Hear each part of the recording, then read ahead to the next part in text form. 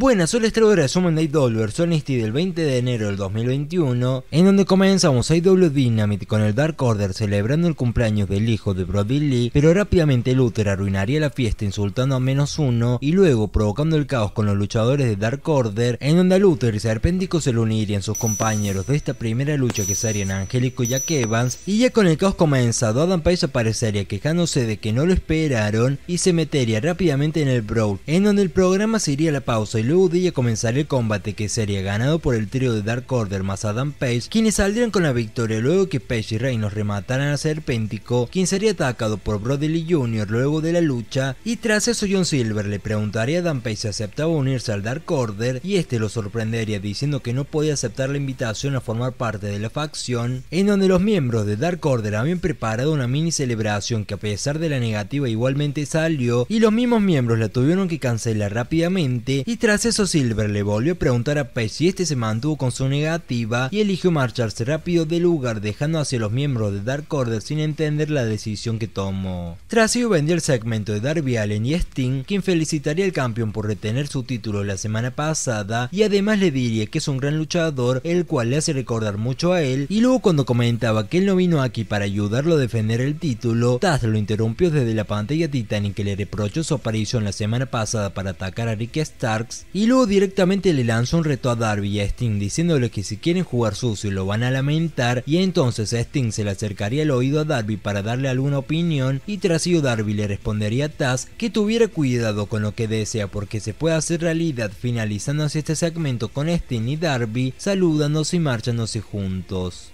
Luego veríamos a los Jumbox yendo a la casa de Kenny Omega en donde Michael Nakazawa los atendería y cuando estaban dentro de la casa Don Callis apareció y les dijo que Omega no los iba a atender porque estaba ocupado y tras ello echó al entrevistador de IW de la casa y entonces se quedó solas con los Young Bucks a quienes intentó comprar con unos cheques ínfimos para que dejen de molestar a Omega y tras que rechazaran los cheques, Don Callis llamó parásitos a los Young por vivir a costa de Omega y entonces los hermanos Jackson aprovecharon el que estaban solos para darle una paliza a Don Callis. Después Cody se enfrentaría a Peter Avalon, quien daría una buena impresión y se daría una lucha dinámica y pasajera, en donde a pesar de haber habido una distracción de Jade Cargill al inicio, Cody logró triunfar y llevarse una victoria que posiblemente no lo ayude en nada, pero bueno, por lo menos pudimos ver una buena actuación de Avalon. Lo siguiente fue el regreso a la acción de John Mosley quien enfrentó al cavernícola Nico Moroto, en lo que resultó una victoria de John Mosley por nocaut técnico, en donde como Moroto se le plantó e hizo sudar al ex campeón mundial de IW, quien no veía la forma de vencerlo hasta que se le lanzó el cuello para aplicarle su llave, la cual asfixió al cavernícola hasta el punto en el que quedó dormido, y el árbitro tuvo que parar la lucha, donde tras ella le dijo Kenny Omega que puede traer a gente de donde quiera, pero al final del día deberá pasar por él y tarde o temprano tendrán que volver a enfrentarse. Luego Dickinson estaba dando una entrevista cuando llegaron Lance Archer y Jake Roberts y esto terminó en una discusión lo cual deriva un reto para una lucha mano a mano entre Eddie Kingston y Lance para la semana que viene. Tras esto veríamos llegar al coliseo a Kenny Omega quien se sorprendería de lo que le pasó a Don Callis y al preguntarle quién le había hecho eso en la cara le dijo que fueron los Bucks y entonces Omega medio que se enojó pero Callis no le quiso dar mucha relevancia a eso y en medio de esto terminó echando del vestuario a Alex Marves y a la cámara para poder hablar así tranquilamente con Kenny Omega. Y tras ello continuaría la lucha de tríos donde Priot y Parte junto a Matt Hardy terminarían triunfando tras hacer su turn heel ya que para terminar la lucha en la que se enfrentaron a Matt Sydal y Top Fly, atacaron a uno de los chicos de esta última pareja con una silla y tras el combate cuando su compañero y le reclamaron la acción a los chicos de Priority Party, estos esperaron la orden de Matt Hardy cuando llegó, atacaron a sus rivales sin piedad marcando así su turn heel. Lo siguiente fue Leila Hirsch vs Penelope Ford, un combate poco destacable que sufrió de entre un ritmo que arrancaba pero que se cortaba y que en definitiva terminó con la victoria de Penelope y tras este combate Miro se burló de Orange Cassidy de Chuck Taylor a quien lo obligó a llamarlo su mejor amigo, algo que no le agradó para nada a Orange Cassidy pero quien a la distancia entendió la situación en donde Sabian, Ford y Miro terminarían el segmento celebrando y lo que siguió fue que Anderson Gallows y Kenny Omega estaban atacando en un pasillo a Pentagon Y a la vez anunciaron una idea muy buena pero que ya veremos hasta dónde llega, ya que se anunció un torneo femenino de Japón versus los Estados Unidos con 16 participantes y de eliminación directa, en donde se buscará una nueva retadora para Hikaru Shida, ya que parece que en la división no hay nadie que no haya derrotado, además de que parece que esa idea de las rachas ya quedó eliminada. Y por último llegaremos al evento central de la jornada, que sería la Inner Circle contra la Inner Circle contra la Inner Circle, es decir, en Jeff y Chris Jericho contra Sammy Guevara junto a Jay Hager contra Santana y Ortiz, una lucha interesante que fue buena a pesar de algún botch que hubo, en donde Sammy lo usó muy bien de manera individual, además de que por su parte Santana y Ortiz en sus pasajes demostraron que ellos deberían representar a la facción como la pareja, algo que por ahora no pasará, ya que los ganadores del encuentro resultarían ser Jeff y Jericho, luego de que este último fuera rematado por Sammy Guevara, que iba a vencer pero en eso Warlow lo distrajo y Jeff lo terminó cubriendo con un paquetito, y rápidamente así el programa terminaría de manera abrupta con TNT cortando el final cuando estaban en Jeff y Warlow celebrando la victoria.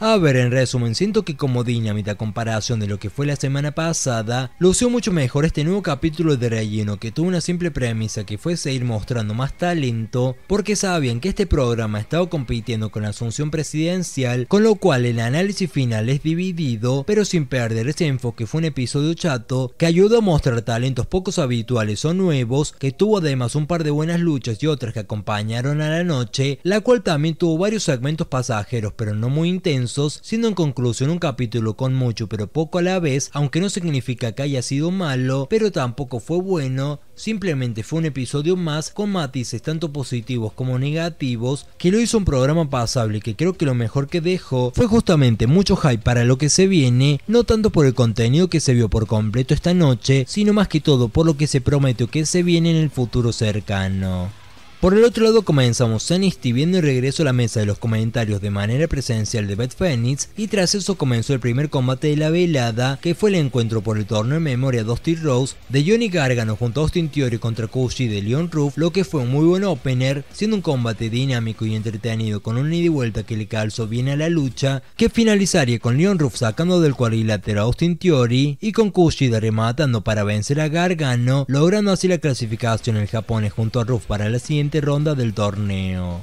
Luego veríamos una promo de Pete Dunne diciendo que él es el futuro y que Balor representa el pasado, dejándole muy en claro al campeón de NXT con esta promo que el inglés quiere el campeonato del irlandés. Después Karen Cross derrotó muy rápido a Shanti Adonis, Luego los chicos de MSK hablaron de su debut y dijeron que van por todo apuntando al que van a ganar este torneo y luego vendieron una pequeña promo de Mercedes Martínez y Tony Storm quienes realmente parecían lucir geniales juntas. Lo siguiente fue la segunda lucha masculina del torneo en la noche y tendría lucha House Party enfrentándose a Imperium en otro combate entretenido que tendría de paso varios tramos hiperdinámicos los cuales le dieron mucho un combate que se manchó un poco por algunos detalles, siendo el principal y el cual no me gustó para nada, el que en el final tras un combate repartido, Imperium iba a rematar a Gran Metalik y en vez de sentenciar las cosas rápido, convenientemente los europeos hicieron una mini pausa para hacer su clásico saludo, solo para perder tiempo y hacer que Gran Metalik y Lince Dorado los ataquen y los terminen así venciendo, cerrando todo con los latinos celebrando, y a la vez cuando los europeos estaban marchando en la rampa de la entrada para sería Alexander Wolf, haciendo así su regreso y terminando simplemente los tres saludándose con el clásico gesto de Imperium.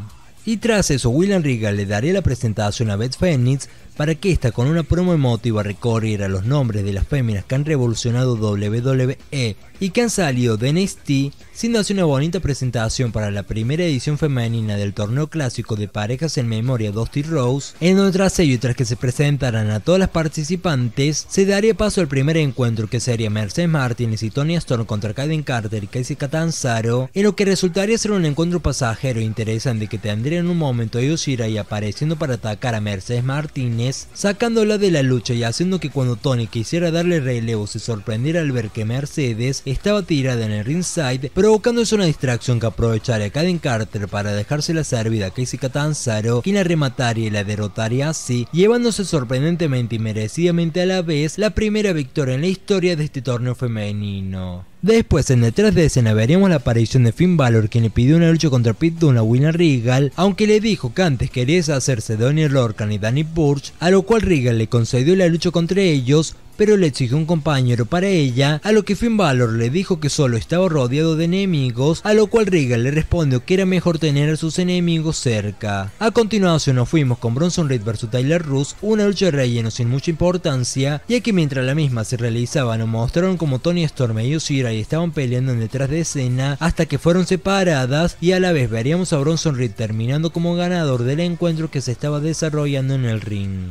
De regreso en detrás de escena, Finn Balor sería entrevistado y diré que existen unas personas en este vestuario que le deben un favor y las cuales podrían ayudarlo la semana que viene y acto seguido Valor encaró para el vestuario de los Disputetera en donde se encontró con ellos y le preguntó a O'Reilly si aceptaba acompañarlo la semana que viene, a que aceptaría y de inmediato salió oficial la lucha no titular entre Finn y Kyle contra los campeones en parejas de NXT. Posteriormente aparecería Santos Escobar para decir que él es un gran campeón y no como el mal suertudo Johnny Gargano a los hechos de Crystal Finn Balor y Karrion Cross y tras ello recordó la victoria de sus seguidores en el torneo de parejas el último viernes, además de recordar cómo venció a Gran Metallic, una mención que provocó que este apareciera junto al lince dorado, pero Raúl Mendoza y Joaquín Wilde los atacarían rápidamente sin piedad hasta que Kurt Stallion apareció para salvarlos, haciendo así que tanto el campeón crucero como sus seguidores deban marcharse del lugar rápido, pero esto no sería lo último de esta historia esta noche, ya que pasados los minutos en detrás de escena Stallion junto a los Latino Face serían entrevistados, pero en eso el campeón crucero apareció para encararlo y decirle que la semana que viene le dará una oportunidad titular solo para humillarlo.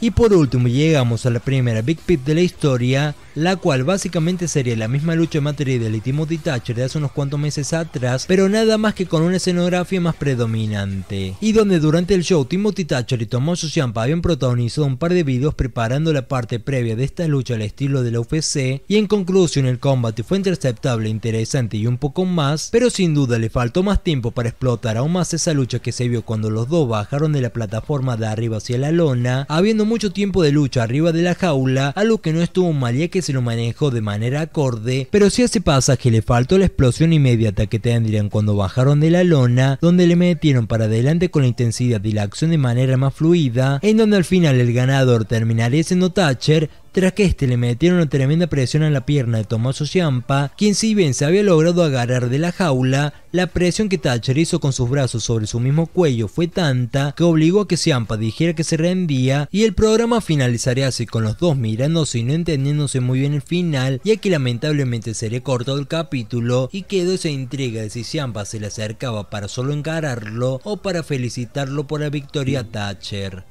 En conclusión, este fue un capítulo de transición de NXT y a la vez de relleno, donde si bien estuvo la noche dominada por el torneo, siento que el mismo fue el alma del show y con el nivel de cada lucha siento que esa definición de relleno queda flotando en el aire, siendo este un capítulo entretenido que se defendió muy bien en el ring, donde el torneo, como dije, fue el motivo de la realización del mismo, pero no de una manera pesada que fuera se tiene que hacer porque tiene que avanzar, sino que se fue dando de manera agradable y con luchas atractivas realmente, en una noche que tuvo un evento central bueno, pero que dejó esa sensación de que pudo dar más si el tiempo hubiera sido mayor o si el tiempo en la lona hubiera sido mayor también. Y en general este episodio lo único malo que tuvo fue sin duda el relleno que no aportó nada y que literalmente le cortó las alas a un episodio que sin dudas hubiera sido una delicia el solo ver esas cuatro luchas, quedando otra vez en la lupa esa cuestión de NXT de querer siempre dar de más cuando debe medirse realmente, pero bueno, dejando de lado esto, creo que sin duda el ganador de esta semana nuevamente fue NXT y no porque NXT sea NXT y porque IW sea IW, sino porque esta última trató su programa como uno más, dejando y mostrando más talento poco habitual, pero no por mostrarlo significa que el episodio está listo y ya, porque al mismo hay que llevarlo y darle peso, intensidad e impacto, y creo que IW no le dio para nada estos condimentos, en donde me falta agregar la solidez a lo que sí creo que se vio en sus luchas, exceptuando la femenina, pero en comparación de lo que se vio en NXT, en donde este último tuvo peso, tuvo importancia y ciertamente tuvo un resultado sorprendente y agradable en la lucha femenina, en donde creo que al final se vio un gran contrapunto en general, con AW dando otro programa para rellenar, aunque sus sensaciones fueron más positivas que la semana pasada, mientras que NXT entró un capítulo para seguir avanzando y de paso logró hacer que no se viera para nada como un relleno. Y bueno, mostrar qué les parece a ustedes este nuevo episodio de AW vs NXT.